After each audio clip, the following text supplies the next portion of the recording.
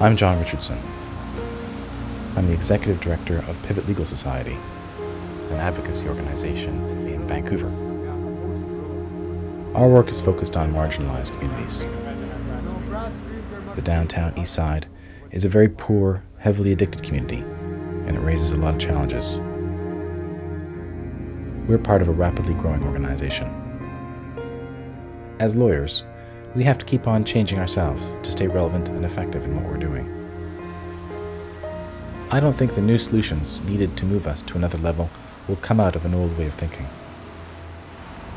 Gandhi said that you have to be the change you seek in the world. We all need people and places that support that.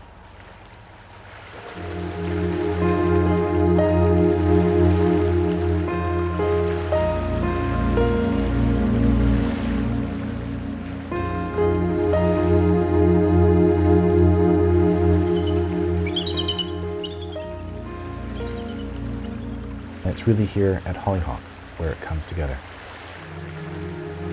Hollyhock plays a really critical role in the ecosystem of social change.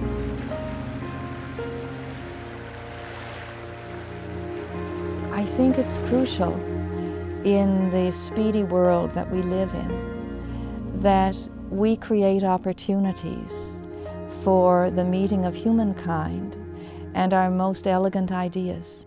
We require at this time in the stage of humanity some revolutionary and evolutionary shifts. So a place like this allows for that kind of change to occur.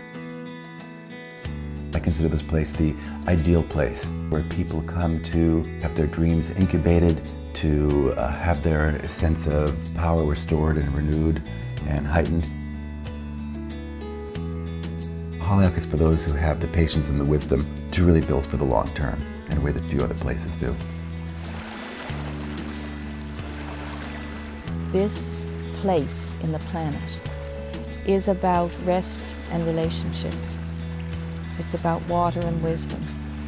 It's about connection to others. It's really a place where food and friendship unleash all kinds of potential between people who might not normally bump into one another. Of all the workshop centers that I have taught at over the years, it's the one that I most resonated with, so I've come back on a regular basis and really consider it a home. It's where a wide variety of people can come together in a beautiful natural setting and uh, really listen to cutting edge ideas. Hollyhock is a place where seeds for creative solutions are found. It's also a place where new networks are created. And so it really is a, a, hothouse uh, for innovation.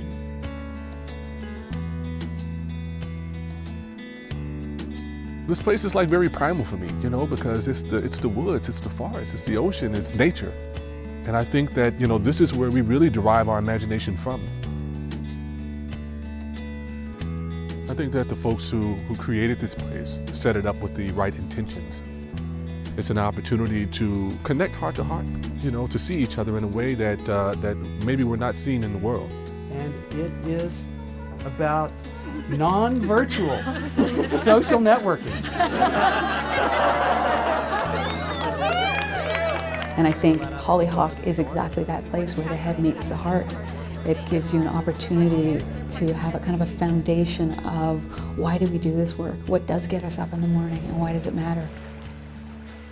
How can we live and work and be more generative and more socially, environmentally durable in our work and in our lives and inspire others to do so as well? When you're talking about you know, the social change and environmental issues of the day, it creates a backdrop and an environment which makes those discussions and those topics become very real. They create a space that's open, that enables people to be free and talk openly about the problems and the challenges. When I come to Hollyhock, it gives me an opportunity to unplug from the day-to-day stresses of my business and get a real solid sense of the big picture with like-minded folks who share my values. And there's a bridging happening between generations in activism and business and leadership and it's a great legacy that Hollyhock is passing on. The relationships that can be built in a place like this, the knowledge transfer and the cultivation, the deepening, are things that you can't actually put a monetary value on, but they pay dividends over a long period of time.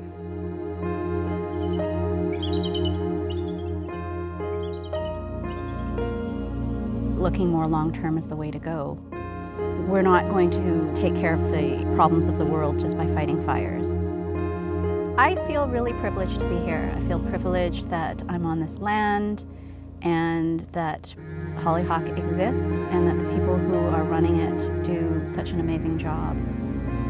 They're looking into the future and they're working on building leaders and people who are balanced in looking at the environment, the world as it is, business, commerce, and social issues.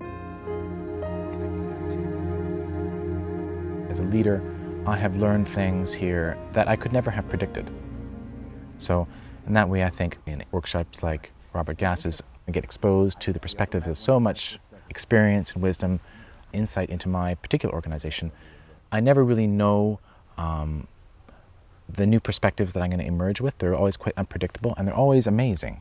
I consider this place the ideal place to do this work of cultivating leaders and their depths. The nature of the medium, which is changing the way the information is captured, which changes. I run a startup and it's very early days for us. So from my perspective, there's a level of randomness here that comes with just having lots of interesting people from a wide spectrum of experiences and backgrounds and places and that to me is an infinitely valuable source of inspiration and new ideas and new approaches to the way we do things from a personal perspective as well as from a corporate perspective. The last session we had was on the beach and people were conversing the same way that you would if you were on the beach with your friends. It's all about finding good ideas.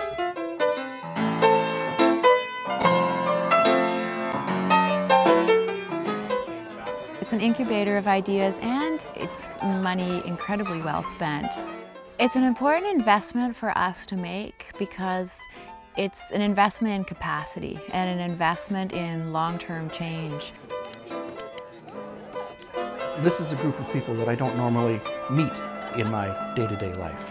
In the conversations that I've been having here, I've found all kinds of depth on issues that I didn't even know I needed to really be thinking about. The connections that I've made in 48 hours are probably going to be the most vital for us in the next three, four months as we move to our next phase. Uh, I felt very full and more solid and more supported. Definitely um, more powerful, more connected to what I'm doing. At the same time, providing kind of a relaxing, nurturing nest. The value I got for my money was incredible. And as much as I thought I was sharing and giving, I got back tenfold.